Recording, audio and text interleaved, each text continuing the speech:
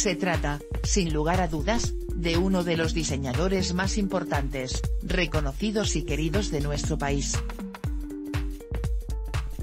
Roberto Piazza supo vestir a las figuras más famosas del mundo del espectáculo, al igual que sus colegas Benito Fernández, Jorge Ibáñez y Gino Bogani, entre otros. Sin embargo, esta vez volvió a encender todas las alarmas al contar novedades sobre su estado de salud.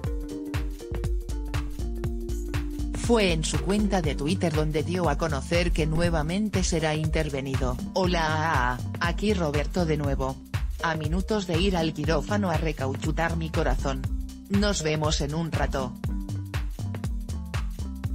Los quiero a todos, beso, Robert, señaló en una publicación donde además compartió un video en el cual explicó un poco más cuál es su situación, luego de regresar de España, donde no la estaba pasando para nada bien.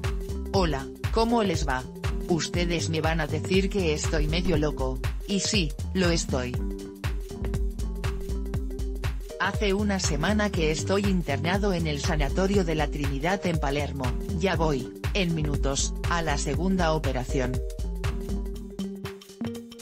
Reaparecí en las redes sociales, me van a poner un stent, me encontraron dos arterias tapadas.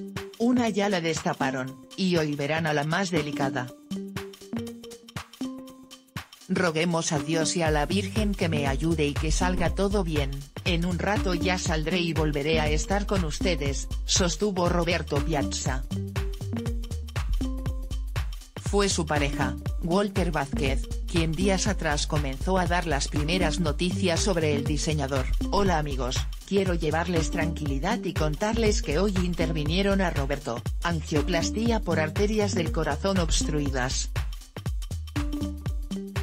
quedará en terapia para monitoreo y control de su evolución. Los mantengo informados. Yo siempre con la verdad.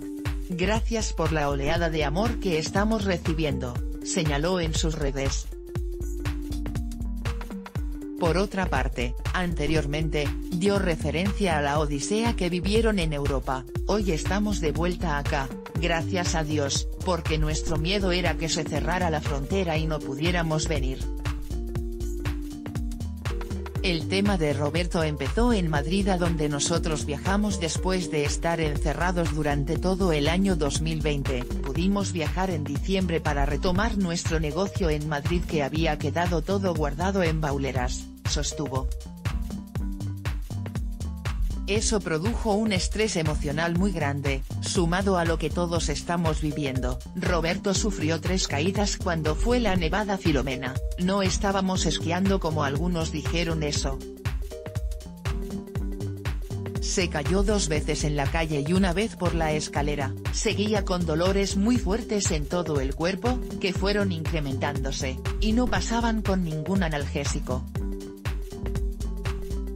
Cuando volvimos, le hicieron unas placas, que no dieron nada, por eso yo pedí un chequeo integral, que se hizo ayer. Él venía con unos dolores muy fuertes en el pecho desde hace unos 15 días en Madrid, y a mí eso me llamaba la atención.